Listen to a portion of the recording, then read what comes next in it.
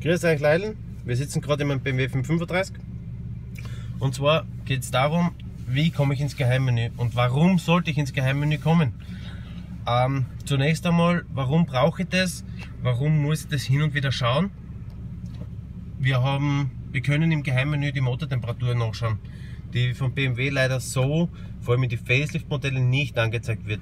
In die Vor-Facelift-Modelle hat man hier seitlich äh, man sieht mein Finger jetzt nicht schwer, da hier seitlich, äh, wird es angezeigt, wie weit der Drehzollmesser drehen darf, sozusagen, äh, und wird somit ähm, dort halt gestoppt, obwohl das ja auch ganz schlecht ist. Also im kalten Zustand sollte man nicht über 2.000, 2.500 Touren drehen. Äh, was sich BMW dabei gedacht hat, das wegzulassen, bleibt mir für immer ein Rätsel, weil es einfach wichtig ist. Warum? Ähm, läuft mein Motor zu kalt, läuft er zu fett, Läuft er zu fett, wird man Partikelfilter zu, äh, es können Schäden im Motor entstehen und und und. Ähm, zunächst einmal, wir haben den Knopf da in der Tachoeinheit, den drucken wir mal lang. Jetzt verschwindet zuerst der Tageskilometerzähler, der kommt dann aber zurück. Wir bleiben noch immer drauf. Jetzt gehen wir zum ersten Schritt, wo wirklich auch Neulinge damit äh, vertraut werden sollen. Ähm, das ist die Fahrgestellnummer also Fahrzeugnummer eigentlich, die sogenannte FIN. Hier muss man die letzten fünf Zahlen zusammen addieren. Also in meinem Fall ist es 19, wenn man lesen, wenn man sieht. Also das ist unter Menüpunkt 1, da kommt sie immer eine. Diese 19 äh, merken wir uns, dann drücke ich nochmal lang drauf, er springt mir wieder raus und ich gehe unter den Punkt 19 rein. So, zu dem Punkt 19 müsst ihr immer. Und jetzt kommt die zusammen addierte Zahl, das ist in meinem Fall wieder 19. So.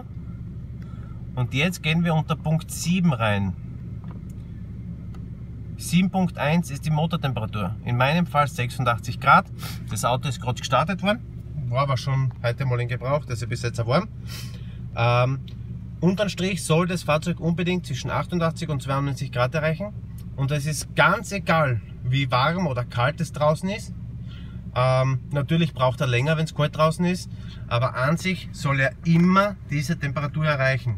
Egal unter welche Umstände, egal warum, weshalb, er soll immer sich dort bewegen. Auch keine Sorge, im Hochsommer habe ich schon einmal erlebt, dass er 108 Grad warm wurde. Warum? Er hat einen Partikelfilter gereinigt in dem Moment. Wir haben 40 Grad Außentemperatur gehabt, da wird der Motor natürlich dementsprechend warm, beziehungsweise das Kühlsystem. Ähm, weil da können wir leider nur die Kühlertemperatur anschauen. Also nicht verwechseln bitte mit der Öltemperatur, das ist rein nur Kühlertemperatur. Ähm, in 90% der Fahrz also in 90% von Fahrzeugen, die das anzeigen, zeigt sie die Kühlertemperatur an. Ideal wäre natürlich das Öl. Ähm, kann man auch nachrüsten, ist aber jetzt nicht das Kapitel. Ähm, unterm Strich schaut euch das zumindest einmal im Monat, einmal in zwei Monate an, weil sollte euer Fahrzeug Probleme haben mit, der, mit dem Kühlsystem, ja, dass der Thermostat, äh, ja, das Thermostat vom AGR oder der Hauptthermostat defekt sind, dann gebe ich euch schriftlich innerhalb kürzester Zeit ist der Dieselpartikelfilter zu. Da reden wir von einer Spanne von maximal 3.000, 4.000 Kilometer.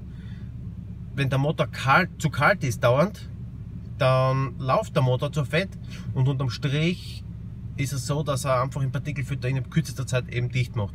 Schaut euch das unbedingt an. Nicht vergessen, zuerst gehen wir unter Punkt 1. Wir addieren die Quersumme von der Fahr äh, Fahrzeugnummer, also von der sogenannten FIN, die letzten fünf Zahlen. In meinem Fall war es CU und die fünf Zahlen, die wir zusammen addieren. In meinem Fall die Quersumme 19. Dann gehen wir unter Menüpunkt 19. Das ist ganz egal, was das für Ergebnis ist. Ihr könnt 17 haben, ihr müsst trotzdem im Menüpunkt 19. Nach dem Menüpunkt 19 gebt ihr eure, eure zusammen addierte Zahl ein. In meinem Fall eben auch 19.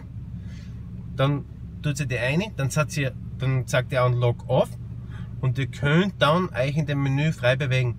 Ihr solltet jedoch ein bisschen aufpassen. Man kann da mehrere Sachen schauen. Man kann schauen, Ah, wie voll sind die Tanksysteme, die Drehzoll, die Geschwindigkeit. Aber man muss aufpassen, weil man kann auch hier Sachen verstellen. Also man kann wirklich in gewisser Weise umkodieren. Vor allem was den Verbrauch angeht und solche Sachen. Da kann man wirklich viel kaputt machen. Tut mit dem wirklich aufpassen. Tut nicht irgendwie was verstellen. Wenn ihr euch wo nicht drüber traut oder euch nicht auskennt, dann lasst es am besten. Der Menüpunkt 7 ist für euch der wichtigste. Im Menüpunkt 7 sehen wir die Kühlertemperatur. Wenn wir die wissen, wenn wir wissen, unser System ist intakt und funktioniert, dann sind wir eigentlich schon glücklich. Naja, ich wünsche euch noch einen schönen Abend. Ich werde jetzt nach Hause fahren ähm, und wir sehen und hören uns beim nächsten Video. Danke fürs Schauen. Ciao, ciao.